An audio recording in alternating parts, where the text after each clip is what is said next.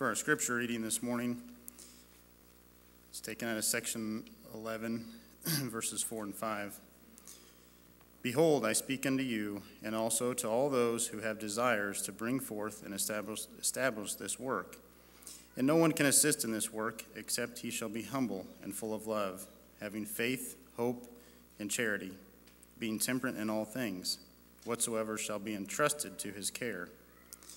Behold, I am the light, of, light and life of the world that speaketh these words. Therefore, give heed with your might, and then you are called.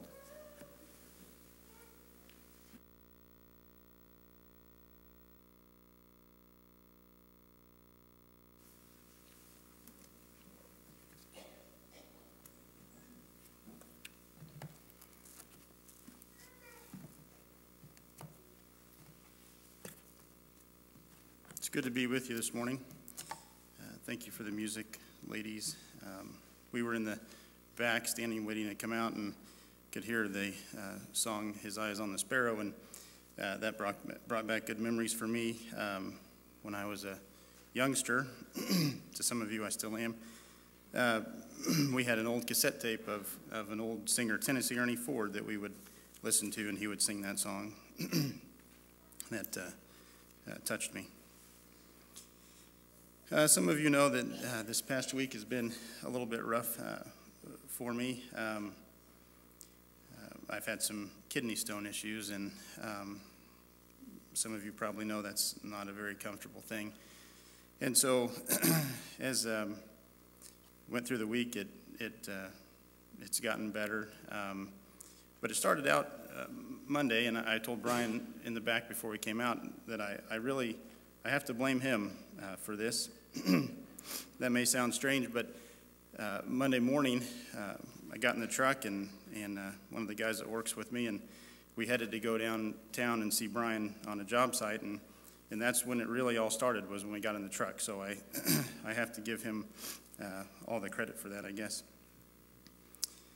Um, later in the week, uh, I think it was Thursday, uh, Dale called me and, and wanted to know what I thought about possibly getting a backup speaker. And I said, well, that is probably a good idea just in case. so he, he talked to Dave, and they, uh, I assume, worked that out. um, and so Thursday evening, um, I got home late uh, from work and, and uh, was administered to. And, and from that point forward, uh, Friday was a little better, and Saturday was even a little better than that. So uh, I, I feel fine this morning. but uh, at the end of this, if any of you find yourselves thinking that maybe you wish uh, you could have heard the backup speaker, whomever that may have been, uh, just let me know and I'll see what I can do about it next time. but I want to start by reading uh, to you a statement published by the church uh, some years ago. Uh, it was in a little pamphlet titled Beliefs That Matter, and some of you may be familiar with that.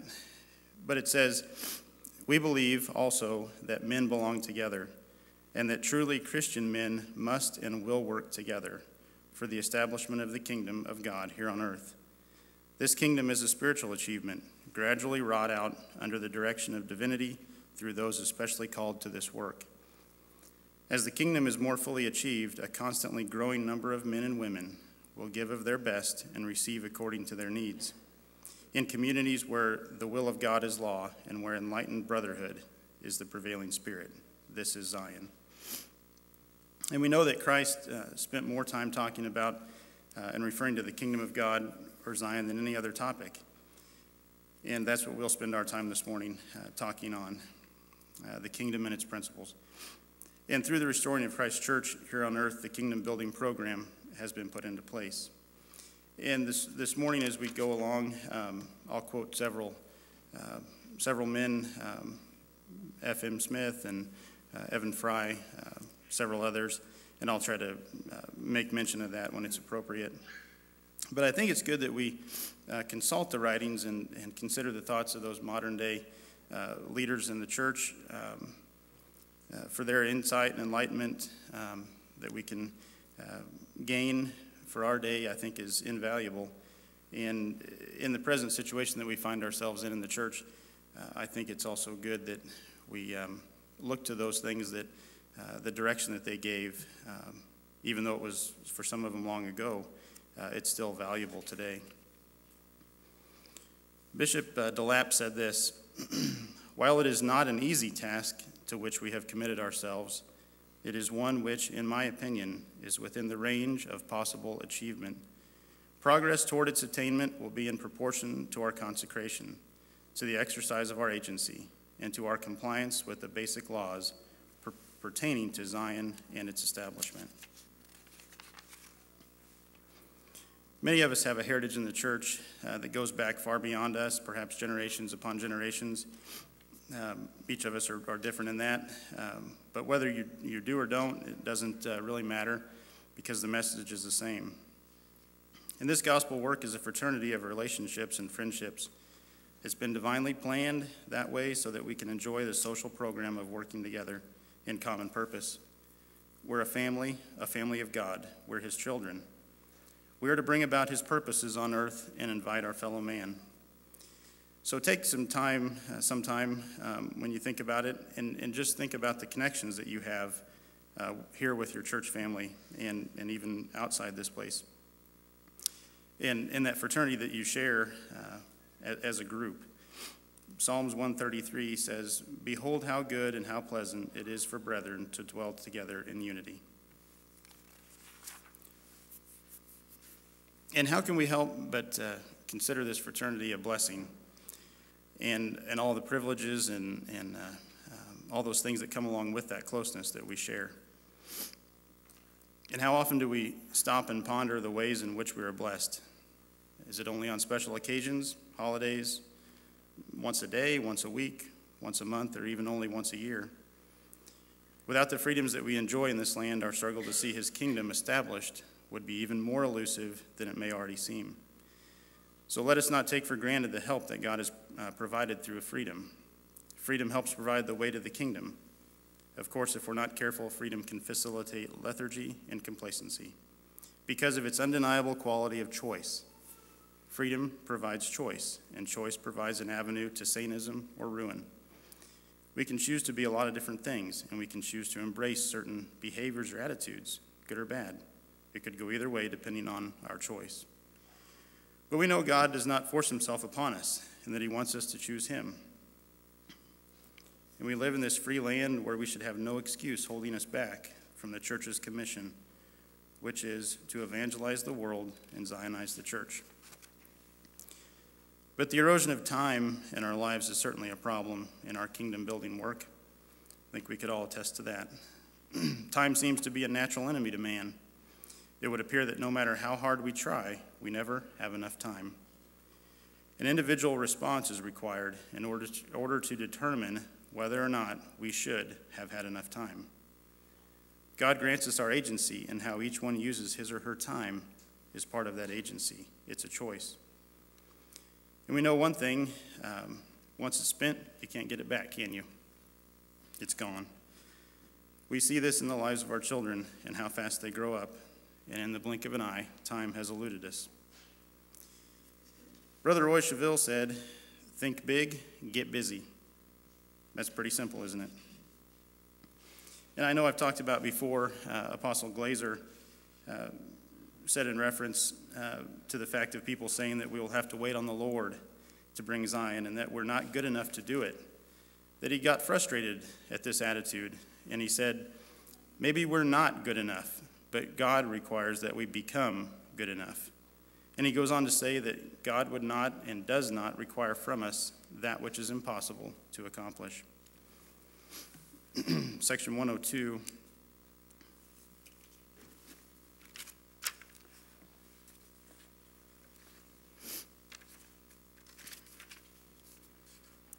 Uh, verse 2 Behold, I say unto you, were it not for the transgressions of my people, speaking concerning the church and not individuals, they might have been redeemed even now.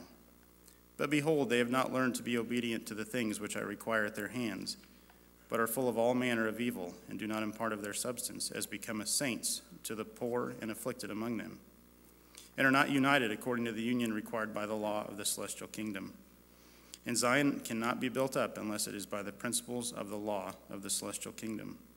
Otherwise, I cannot receive her into myself, and my people must needs be chastened until they learn obedience. And that's, that's pretty harsh. Um, but as a people, we know that it's our uh, duty to uh, exercise our faith, and it's, it's uh, our calling to become righteous. And those who have faith will move forward to accomplish that which they believe. In other words, that which we envision, we will to accomplish. Brother Evan Fry was the church's uh, radio minister for 18 years, from 1940 to 1958. And he, he had a little saying that he said, uh, said, You can't pour a gallon of water into a half pint teacup. We do it a little at a time.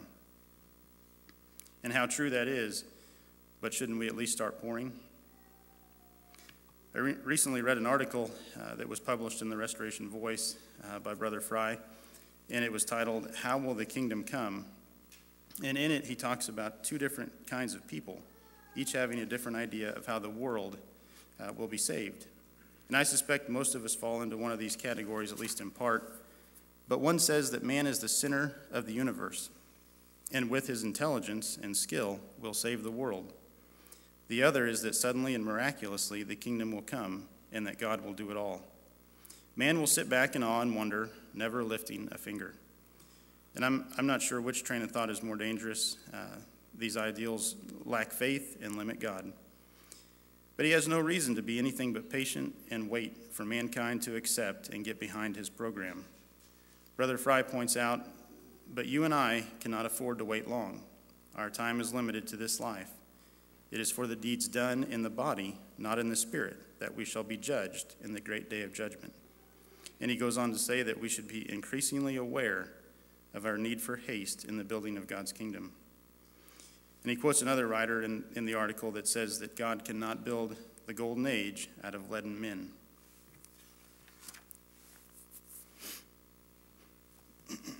Apostle G.G. Uh, Lewis wrote this little excerpt uh, that comes out of a, a larger article that was published in the Saints Herald many years ago. But Zion will not drop down out of the skies. We will not wake up one fine morning and see the sparkling city without doing our part. We must be Zion builders in our time if we would participate in the protection that it will afford. Therefore, we should prepare for Zion. Our lives will need a good deal of overhauling. There is no place for ill feeling, squabbles, or individual differences. We must work in harmony with God's laws, His church, and those who duty, whose duty it is to lead. Some are advanced, ready perhaps to enter into Zionic conditions, but many need to make greater preparation spiritually and economically. Let not the parable of the empty oil lamps apply to us. So we know that Zion will not simply just be dumped in our lap. Uh, that's, that's evident, that's apparent. But are we doing anything to, uh, to promote it? President Fred M. Smith uh, had many writings and, and many uh, sermons that he gave and uh, he gave one to the church uh, a long time ago, and, and he says this that our church has been working toward the time when an order with religious foundation may and will be established, in which the social principles of the Christian religion will have full play. Believing all men, because of the functions of fraternity, are laborers together with God, we cannot but believe that there is close tie between labor and religion and that religion and those who promote religion should be concerned about laborers and laboring conditions.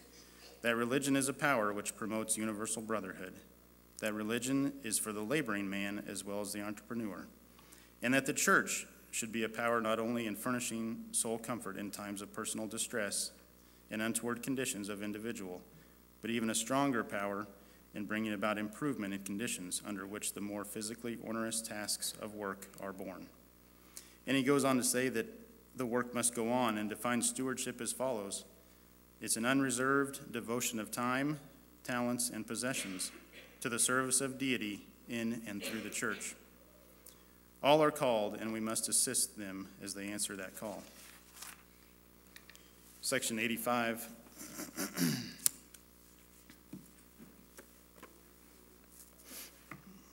uh, verses 20 and 21.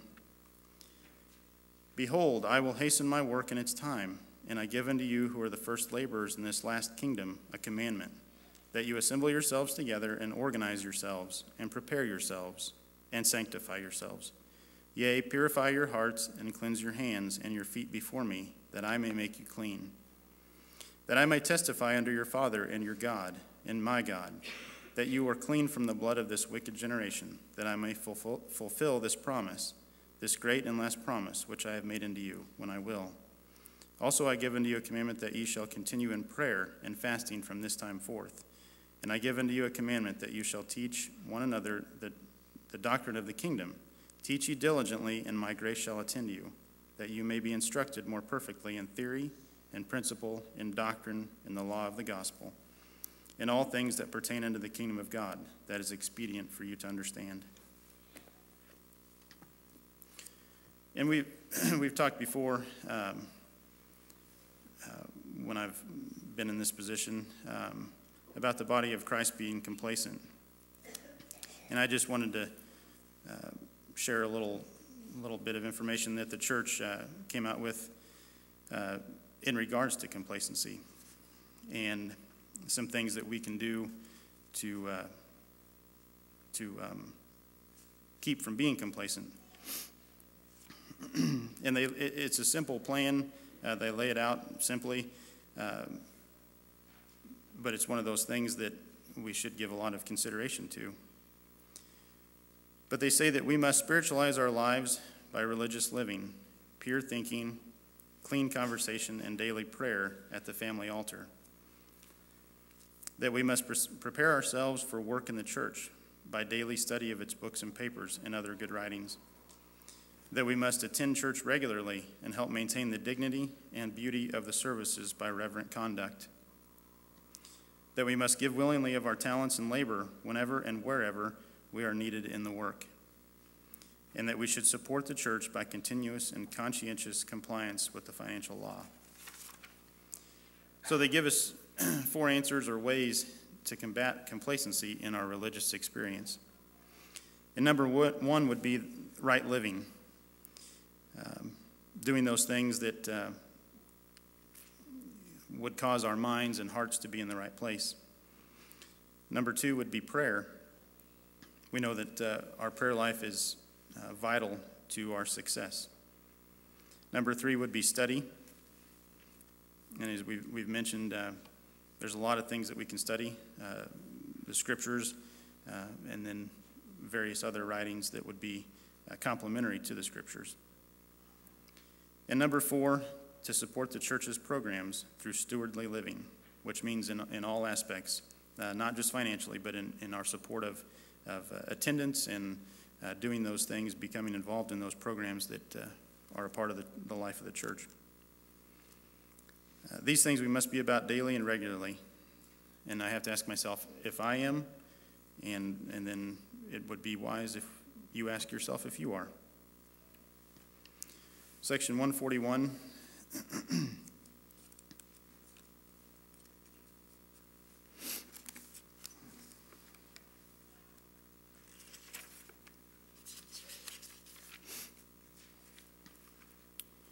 Uh, verse 7 Each should, should strive prayerfully for sustained and greater devotion to the work whereunto he is called.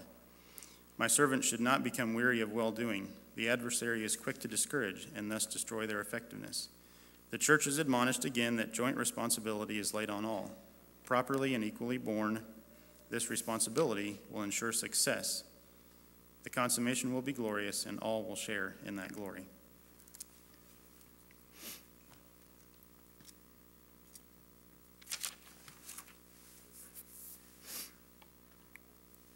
Apostle uh, J.A. Gillen he was the president of the 12, um, wrote an article in the Saints Herald, and it was titled To the Mountaintop. We are told that Jesus is the same yesterday, today, and forever. This being true, we have reason to believe he is ready and willing to lead us into higher planes, more wholesome altitudes where our vision of Christ might be enlarged. enlarged. Our faith in the cause of Zion increased. He, no doubt, desires to lead us away from the miasma of doubt and fear, from sin and its related evils such as greed, lust, and unholy ambitions, which result in suffering, sorrow, and distress. Jesus desires to lift us far above all earthly things into the rightful heritage of the saints. For this very purpose, the Son of God was manifest. Lo, to destroy the works of sin and to bring about Zion. This was a responsibility placed upon Christ. If the saints of God are to collaborate with him, uh, as provided in the law, this then is the great objective of the church. Christ has issued a program by which this is to be brought about. No other plan can be successfully substituted. Any attempt to do otherwise is but to invite failure. The whole matter can be crystallized in the following Keep my law, change not the ordinances and sacraments. Thou shalt love the, the Lord thy God with all thy heart, with all thy soul, and with all thy strength, and with all thy mind, and thy neighbor as thyself. Do this, and thou shalt live. The antithesis would follow. Failing to do this, death ensues, and any course other than the one offered by Jesus Christ would be idolatry. The above can be gathered up in the objectives of the church, which are of dual character, and to which the church is committed to evangelize the world through the preaching of the gospel of Christ and to bring about Zion. To this task, the church must set its face and organize its forces. To the extent we face in this work of Jesus Christ has failed as far as we are concerned. What then shall I say in representing the leading quorums of the church? In answer first to the law and to the testimony, keep the commandments, have faith in God, Christ, and the cause we have espoused. If possible, secure the mind of Christ. Avail ourselves of the promised equipment, reconsecrate ourselves to our great task, make the necessary sacrifice so that the cause of Christ shall be lifted to the extent that the honest in heart will see our good works in consequence of which God shall be glorified. in order that the church shall come to its rightful estate, new spiritual depths must be sounded. Forces latent and untried should be mobilized. Godly leadership made manifest in every quorum, as well as every department. That the whole body shall be full of light and power, a church so in harmony with the program of life that its way, indeed, be a building fitly framed together, groweth into an holy temple in the Lord, a habitation of God through his Spirit, a Zion out of which the perfection of beauty God will shine. and we, uh, we go to Colorado uh, regularly, we spend a lot of time out there. And when we're out there, we uh, do a little hiking ourselves, and um, we see a lot of hikers uh, going up the mountainside. We see a lot of people climbing mountains. Um, and there's a lot of effort that goes into uh, that hobby. Um, there's a lot of time that you have to put into preparing yourself for that. uh, I, I, am not the most prepared uh, physically anyway. I don't put a lot of time into that part of it, but um, there's a lot of things that you have to do. You have to prepare your pack and make sure that you have all the things that you need. Um, to, to take on that task, uh, the things that would be required if there was an accident so that you're prepared. Uh, a little food just in case you get hungry along the way or at the end uh, and you need to take a snack. Uh, you've got to have water, uh, all the things, the proper shoes, the, the proper clothing, uh, all the things that go into going on a hike, whether it be a short hike or a, a, long hike. Some, some of the guys here in the congregation do a lot of hiking and and stay for days and nights on end. Uh, there's a lot that goes into that. And that's a, that's a great hobby. Um, but I wonder when, when we think about um, our spiritual mountain that we have to climb, do we put as much effort into uh, what it would take to be prepared to do that as we would if we were going to take a physical hike uh, in the Rocky Mountains so, let's just say. Um, but you can think about uh, your favorite formation, uh, mountain range, or, or, whatever it may be that uh, that you've hiked in in the past, and, and what all went into that, and uh, what an experience that is when you do get to the to the summit or to the end of your trail, and uh, how good you feel, and, and, and you get to take in the sights and, and see all the things that, uh, that God's created around you. And I know, I know it's, a, it's kind of a, a simple uh, analogy, but uh, the same applies with our spiritual walk. And when we get when we climb the mountain and we get to the top, uh, wouldn't won't that be such a glorious experience?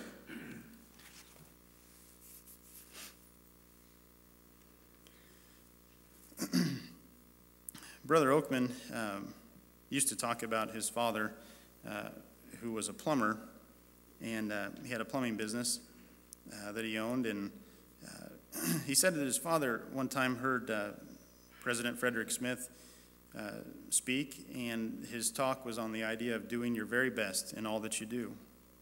And he says that his father, from, from that time forward, did so in his plumbing work and that within a few short uh, years, he went. Uh, word got around, and he went from from just employing himself to having 11 master plumbers that worked for him, and he ended up becoming the largest plumbing business in North London. And that's that's a simple thought, but um, it's a lot more complicated than than than just that simple little story, um, because doing our best requires an awful lot. But don't we think that uh, we deserve, or that our Heavenly Father deserves our best? Uh, the question might be do we love Him enough to, to give Him our very best?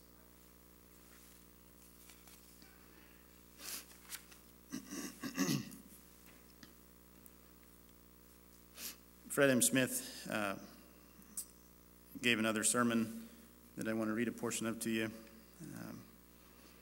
He said, that In the early days of our church, our people and our ministers in great unity, developed by earnest zeal to spread the gospel, were intensely active, and they met persecution from without.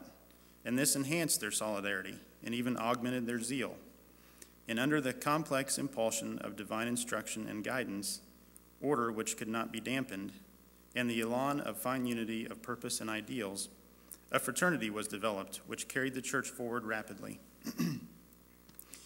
He says, Today there is far less of religious persecution brought to bear upon us, and we may lack this factor tending to unify us. But the pressure of economic uncertainty, the sense of religious confusion in other churches, and not so well directioned by the ideal of economic betterment through churchly fraternity, will, if we properly sense its importance, function towards the promotion of solidarity, as did persecution previously. For our conception of Zion and her religious and social ideals still sets us out as a peculiar people.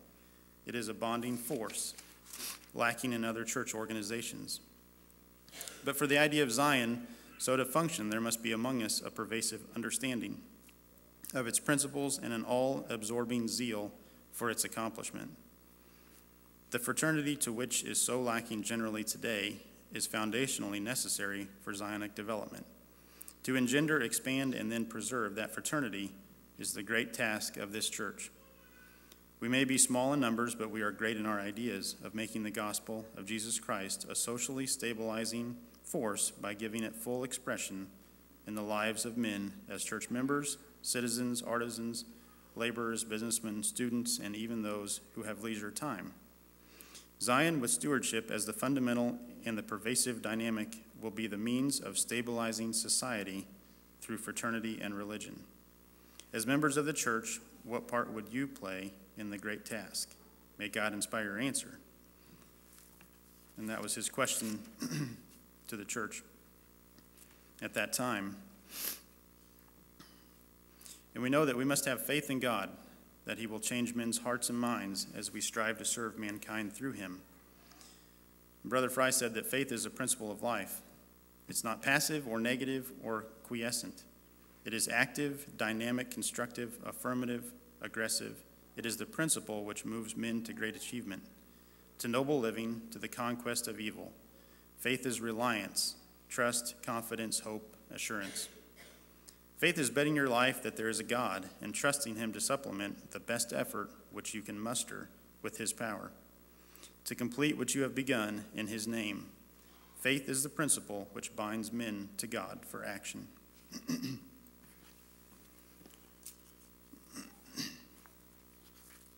uh, section 12, familiar scripture. Behold, the field is white already to harvest. Therefore, whoso desireth to reap, let him thrust in his sickle with his might, and reap while the day lasts. that he may treasure up for his soul everlasting salvation in the kingdom of God. Yea, whosoever will thrust in his sickle and reap, the same is called of God. Therefore, if you will ask of me, you shall receive. If you will knock, it shall be opened unto you.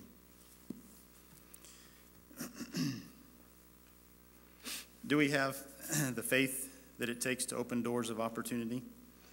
Do we have faith to be a doorway of opportunity for your fellow man? Um,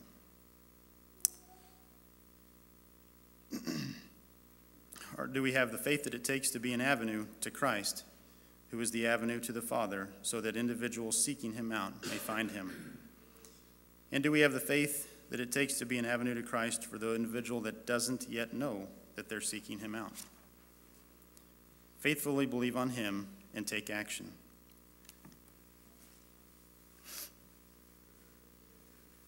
You can turn to it if you'd like. I'm just going to read the words to the hymn uh, Consecration, which is number 312 in the uh, blue hymnal, if you'd like to follow along.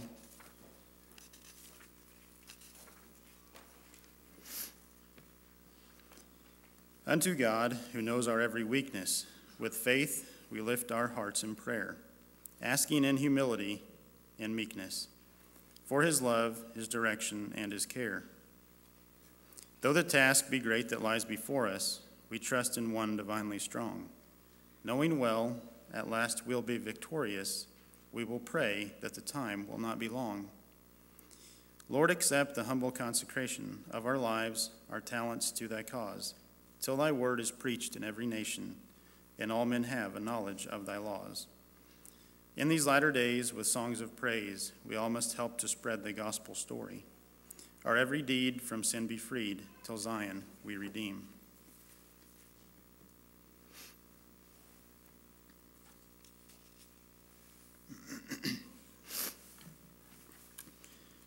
Section 143. Uh,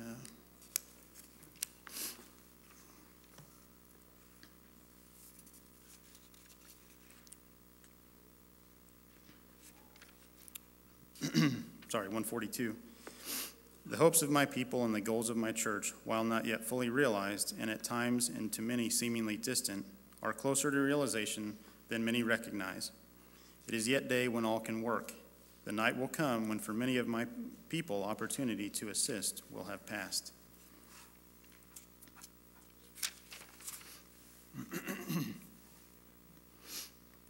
God's gift to man was to promote peace. This peace will be enhanced by each of us learning more effectively the fundamentals of altruism. To sense that to the extent of our abilities, each is his brother's keeper, is a step towards greater peace. To give is divine, to give divine purpose is great. Let brotherly love prevail, but may that fraternal regard issue in greater consecration to our common cause, and that best interest of loved ones is best promoted when the best interests of all are conserved by consecration to the plan and organization God has given us at the means of achieving his purposes. Zion is calling us, and Zion fully established will be a potent factor in bringing about conditions where God's will will be done on earth. Fred M. Smith said that uh, in a Christmas message. in closing, I'd just like to read uh, short scripture from section 12